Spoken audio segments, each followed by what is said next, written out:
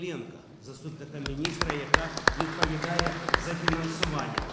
А також хотів би представити Сьогоднішнє виїзне засідання комітету з питань науки та освіти присвячено трьом головним питанням: Е, це структурним змінам до закону України про вищу освіту, який був ухвалений парламентом у 2014 році, але сьогодні потерпає радикальних змін.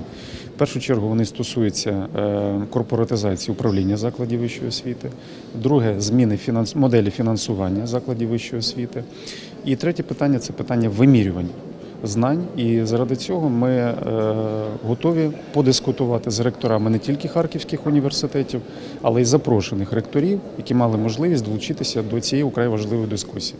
Які завдання сьо- сьогодні стоять перед нами? Е, Підготувати е, аргументовані факти для того, щоб найближчим часом на засіданні комітету внести ці зміни до закону про вищу освіту. Я сподіваюся, що харків'яни долучаться до цього активного обговорення, передадуть е, цю естафету іншим е, обласним центрам України. Як голова підкомітету з питань загальної середньої освіти, я в тому числі презентуватиму сьогодні і новий законопроект, е, який пов'язаний із професійно-технічною освітою. Це закон про фахову передвищу освіту.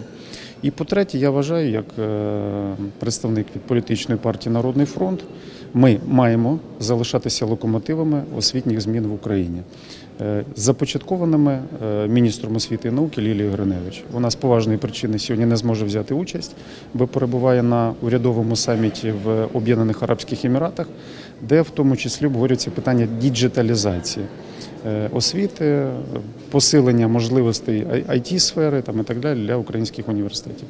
Тому я думаю, що сьогоднішнє засідання можна назвати історичним, тому сподіваємося, що вони е, суттєво вплинуть на поліпшення освітнього клімату, на поліпшення е, якості освіти і на залучення молодих талановитих науковців до інноваційної діяльності. Харків ми обрали в першу чергу через те, що він є беззаперечною університетською столицею в Україні. Харків, тому що він завжди був е, центром, е, де пов'язані наука із виробництвом. І по-третє, е, тут надзвичайно високі пок- показники залучення іноземних студентів до навчання. Він є флагманом в цьому розумінні понад 20 тисяч іноземних студентів.